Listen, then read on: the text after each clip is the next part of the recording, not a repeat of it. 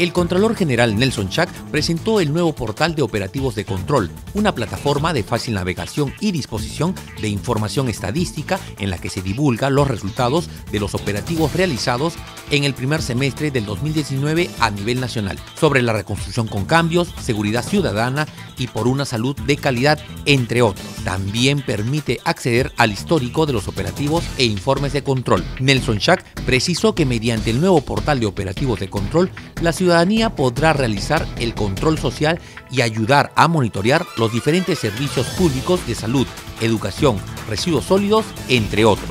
Se detectó un perjuicio económico superior al millón de soles en el Hospital Regional de Lambayeque, provincia de Chiclayo, debido al pago de tarjetas electrónicas de consumo para canastas navideñas con recursos que estaban destinados al financiamiento de varios servicios de salud en beneficio de la población. Asimismo, se identificó presunta responsabilidad civil y administrativa en tres funcionarias de dicho establecimiento. Según la auditoría de cumplimiento, la adquisición de las tarjetas electrónicas en beneficio de 1.217 servidores y funcionarios del referido hospital se realizó durante el 2018. El informe de auditoría de cumplimiento señala que el gasto realizado para adquisición de las mencionadas tarjetas no se enmarca en la finalidad que tiene el presupuesto institucional y sus programas presupuestales ni en los objetivos del hospital. El informe fue derivado a la Procuraduría Pública encargada de asuntos judiciales del Gobierno Regional de Lambayeque para que inicie las acciones legales respectivas contra los funcionarios involucrados.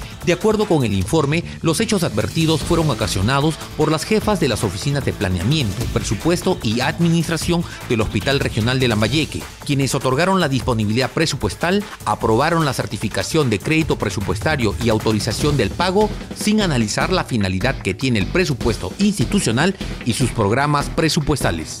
se advirtió que a la fecha la Municipalidad Provincial de Hualgayoc no ha elaborado ni ha aprobado la liquidación de la infraestructura del nuevo mercado central, construido en el distrito de Bambamarca, el mismo que está valorizado en más de 18 millones de soles. La obra se ejecutó bajo la modalidad de obras por impuestos, mediante la cual la municipalidad firmó un convenio de inversión con la empresa privada seleccionada, quien asume el financiamiento y ejecución del proyecto a cuenta del impuesto a la renta que debe pagar al Estado. Durante el control concurrente se verificó que la municipalidad no ha efectuado el proceso de liquidación de la obra, incumpliendo lo establecido en la normativa de obras por impuestos. En consecuencia, no es posible definir el monto final de inversión del proyecto. Adicionalmente, el monto total invertido en la obra no ha sido registrado por la municipalidad en los aplicativos informáticos del Ministerio de Economía y Finanzas ni de la Contraloría General, incumpliendo la normativa vigente. A todo esto se suma que los registros presentados tenían inconsistencias entre sí.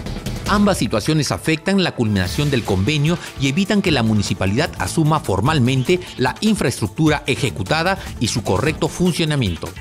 se constató que 90 cámaras de videovigilancia adquiridas para el distrito de Huánuco se encuentran sin funcionamiento debido a que a la fecha no cuentan con suministro de energía eléctrica, por cuanto no se ha ejecutado la conexión a la red de distribución eléctrica de Electrocentro SA. Los hechos fueron advertidos durante un servicio de control concurrente realizado a la obra Ampliación y Mejoramiento de los Servicios de Seguridad Ciudadana en el distrito de Huánuco, donde el gobierno regional de Huánuco proyectó invertir un monto superior a los 12 millones de soles. En la visita de control se verificó que la conexión de las cámaras de videovigilancia al medidor de energía eléctrica no se encuentra ejecutada, sin embargo fue pagada por la entidad el contratista también valorizó el sistema de energía eléctrica estabilizada de 25 kilovatios, con un avance físico del 100% a enero del 2019 la misma que fue aprobada y pagada por la entidad, a pesar de estar pendiente de ejecución.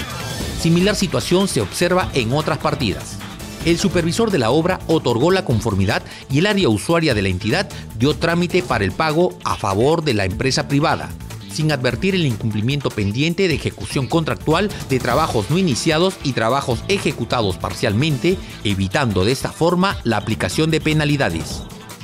Se realizó observaciones a la ejecución y supervisión del servicio de consultoría del Plan Integral para el Control de Inundaciones y Movimiento de Masas de la cuenta del río Tumbes, que está a cargo del proyecto especial binacional Puyango Tumbes. Según el informe de control concurrente, se detectó que el proveedor elegido también viene prestando servicios de manera simultánea a dos unidades ejecutoras con el mismo personal clave y especialista, lo que genera el riesgo de afectar la calidad de los informes respectivos y el cumplimiento de los plazos establecidos